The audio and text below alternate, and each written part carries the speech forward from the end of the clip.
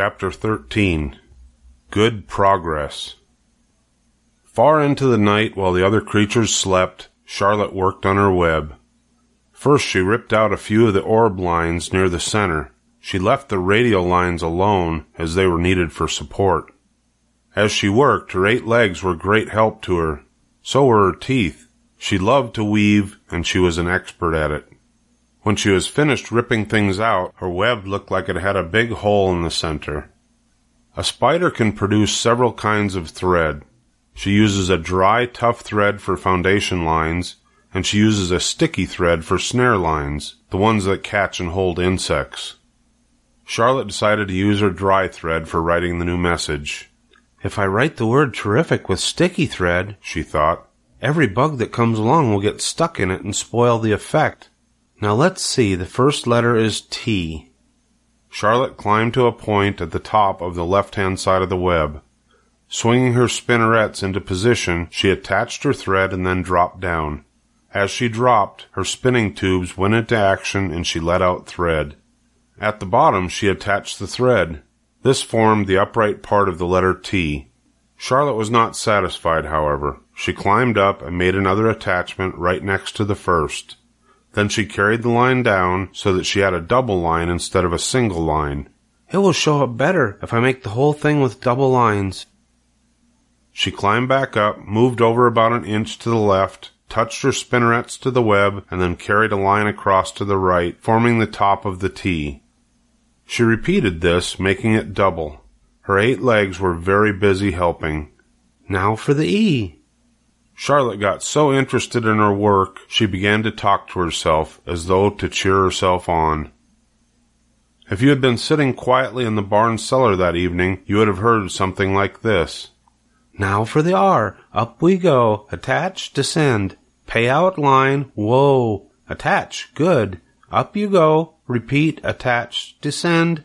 Pay out line. Whoa, girl. Steady now. Attach, climb. Attach. Over to the right. Payout line, attach. Now right and down and swing that loop and around and around. Now into the left, attach, climb, repeat. Okay. Easy, keep those lines together. Now then, out and down for the leg of the R, payout line, whoa, attach, ascend, repeat. Good girl. And so, talking to herself, the spider worked at her difficult task. When it was completed, she felt hungry. She ate a small bug that she had been saving. Then she slept. Next morning, Wilbur arose and stood beneath the web. He breathed the morning air into his lungs. Drops of dew catching the sun made the web stand out clearly. When Lurvy arrived with breakfast, there was the handsome pig, and over him, woven neatly in block letters, was the word terrific. Another miracle. Lurvy rushed in and called Mr. Zuckerman. Mr. Zuckerman rushed and called Mrs. Zuckerman. Mrs. Zuckerman ran to the phone and called the Arables. The Arables climbed into their truck and hurried over. Everybody stood at the pig pen and stared at the web and read the word over and over, while Wilbur, who really felt terrific, stood quietly swelling out his chest and swinging his snout from side to side. Terrific, breathed Zuckerman in joyful admiration. Edith, you better phone the reporter on the Weekly Chronicle and tell him what has happened. He will want to know about this. He may want to bring a photographer. There isn't a pig in the whole state that's as terrific as our pig. The news spread. People who had journeyed to see Wilbur when he was some pig came back again to see him now that he was terrific. That afternoon, when Mr. Zuckerman went to milk the cows and clean out the tie-ups, he was still thinking about that wondrous pig he owned. Lurvy, he called, there is to be no more cow manure thrown down into that pig pen. I have a terrific pig, I want that pig to have clean, bright straw every day for his bedding. Understand? Yes, sir, said Lurvy. Furthermore, said Mr. Zuckerman, I want you to start building a crate for Wilbur. I have decided to take the pig to the county fair on September 6th. Make the crate large and paint it green with gold letters. What will the letters say? asked Lurvy. They should say Zuckerman's famous pig. Lurvy picked up a pitchfork and walked away to get some clean straw. Having such an important pig was going to mean plenty of extra work, he could see that. Below the apple orchard at the end of a path was the dump where Mr. Zuckerman threw all sorts of trash and stuff that nobody wanted anymore. Here, in a small clearing hidden by young alders and wild raspberry bushes, was an astonishing pile of old bottles and empty tin cans and dirty rags and bits of metal and broken bottles and broken hinges and broken springs and dead batteries and last month's magazines and old discarded dish mops and tattered overalls and rusty spikes and leaky pails and forgotten stoppers and useless junk of all kinds, including a wrong sized crank for a broken ice cream freezer. Templeton knew the dump and liked it. There were good hiding places there, excellent cover for a rat and there was usually a tin can with food still clinging to the inside. Templeton was down there now, rummaging around. When he returned to the barn, he carried in his mouth an advertisement he had torn from a crumpled magazine. How's this? he asked, showing the ad to Charlotte. It says crunchy. Crunchy would be a good word to write in your web. Just the wrong idea, replied Charlotte. Couldn't be worse. We don't want Zuckerman to think Wilbur is crunchy. He might start thinking about crisp, crunchy bacon and tasty ham. That would put ideas into his head. We must advertise Wilbur's noble qualities, not his tastiness. Go get another word, please, Templeton. The rat looked disgusted, but he sneaked away to the dump and he was back in a while with a strip of cotton cloth. How's this? he asked. It's a label off an old shirt. Charlotte examined the label. It said pre-shrunk. I'm sorry, Templeton, she said, but pre-shrunk is out of the question. We want Zuckerman to think Wilbur is nicely filled out, not all shrunk up. I'll have to ask you to try again. What do you think I am, a messenger boy? grumbled the rat. I'm not going to spend all my time chasing down to the dump after advertising material. Just once more, please, said Charlotte. I'll tell you what I'll do said Templeton. I know where there's a package of soap flakes in the woodshed. It has writing on it. I'll bring you a piece of the package.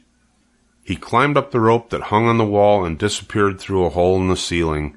When he came back, he had a strip of white and blue cardboard in his teeth. There, he said triumphantly. How's that? Charlotte read the words, with radiant action. What does it mean? Asked Charlotte, who had never used soap flakes in her life. How should I know? said Templeton. You asked for words, and I brought them. I suppose the next thing you'll want me to fetch is a dictionary. Together they studied the soap ad. With new radiant action, repeated Charlotte slowly.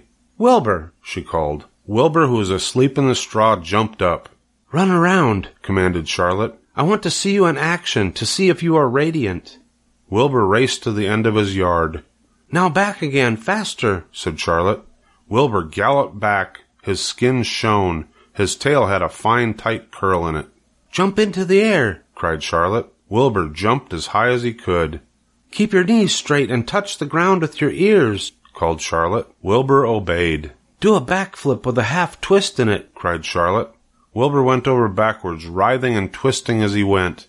Okay, Wilbur, said Charlotte. You can go back to sleep. Okay, Templeton, the soap ad will do, I guess. I'm not sure Wilbur's action is exactly radiant, but it's interesting. Actually, said Wilbur, I feel radiant. Do you? said Charlotte, looking at him with affection. Well, you're a good little pig, and radiant you shall be.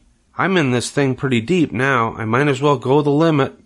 Tired from his romp, Wilbur lay down on the clean straw. He closed his eyes. The straw seemed scratchy, not as comfortable as the cow which was always delightfully soft to lie in, so he pushed the straw to the side and stretched out in the manure. Wilbur sighed. It had been a busy day, his first day of being terrific. Dozens of people had visited his yard during the afternoon, and he had to stand and pose, looking terrific as he could. Now he was tired. Fern had arrived and seated herself quietly on her stool in the corner. Tell me a story, Charlotte, said Wilbur as he lay waiting for sleep to come. Tell me a story. So Charlotte, although she too was tired, did what Wilbur wanted. Once upon a time, she began, I had a beautiful cousin who managed to build her web across a small stream. One day, a tiny fish leaped into the air and got tangled in the web. My cousin was very much surprised, of course. The fish was thrashing wildly. My cousin hardly dared to tackle it, but she did. She swooped down and threw great masses of wrapping material around the fish and fought bravely to capture it. Did she succeed? asked Wilbur. It was a never to be forgotten battle, said Charlotte. There was the fish, caught only by one fin, and his tail wildly thrashing and shining in the sun. There was the web, sagging dangerously under the weight of the fish. How much did the fish weigh? Asked Wilbur eagerly. I don't know, said Charlotte. There was my cousin, slipping in, dodging out, beaten mercilessly around the head by the wildly thrashing fish, dancing in, dancing out, throwing her threads and fighting hard. First she threw a left around the tail, the fish lashed back. Then a left to the tail and a right to the midsection. The fish lashed back. Then she dodged to one side and threw a right, and another right to the fin, then a hard left to the head, while the web swayed and stretched. Then what happened? asked Wilbur. Nothing, said Charlotte. The fish lost the fight. My cousin wrapped it up so tight it couldn't budge. Then what happened? asked Wilbur. Nothing, said Charlotte. My cousin kept the fish for a while, and then, when she got good and ready, she ate it. Tell me another story, begged Wilbur. So Charlotte told him about another cousin of hers who was an aeronaut. What's an aeronaut? asked Wilbur. A balloonist, said Charlotte. My cousin used to stand on her head and let out enough thread to form a balloon. Then she'd let go and be lifted into the air and carried upward on the warm wind. Is that true? asked Wilbur. Are you just making it up? It's true, replied Charlotte. I have some very remarkable cousins. And now, Wilbur, it's time you went to sleep. Sing something, begged Wilbur, closing his eyes. So Charlotte sang a lullaby while crickets chirped in the grass and the barn grew dark. This was the song she sang. Sleep, sleep, my love, my only, deep, deep in the dung and the dark. Be not afraid and be not lonely. This is the hour when frogs and thrushes praise the world from the woods and the rushes. Rest from care, my one and only, deep in the dung and the dark. But Wilbur was already asleep. When the song ended, Fern got up and went home.